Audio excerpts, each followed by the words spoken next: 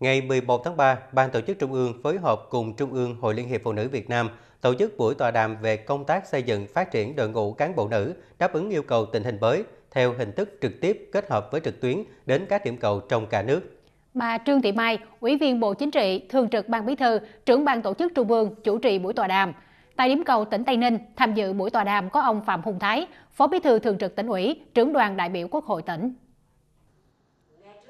Những năm qua, công tác cán bộ nữ luôn nhận được sự quan tâm của đảng, nhà nước và các cấp các ngành với khung pháp lý tiến bộ, khá toàn diện và phù hợp với các yêu cầu quốc tế, cùng với sự nỗ lực vươn lên của các lực lượng phụ nữ. Việt Nam đã có những bước chuyển biến tích cực về bình đẳng giới và trong các lĩnh vực của đời sống xã hội, trong đó có lĩnh vực chính trị.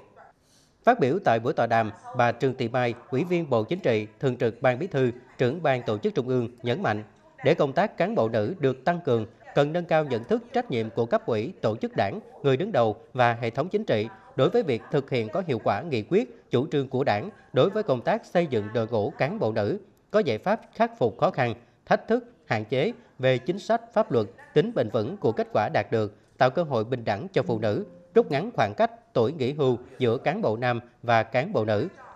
Đồng thời, động viên đội ngũ cán bộ nữ phấn đấu, rèn luyện, nâng cao trình độ, năng lực, phẩm chất, uy tín, đáp ứng yêu cầu giai đoạn mới.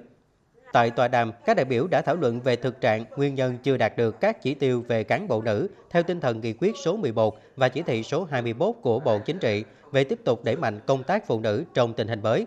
Đồng thời, đề xuất những giải pháp nhằm nâng cao hiệu quả thực hiện công tác cán bộ nữ theo yêu cầu đã đặt ra.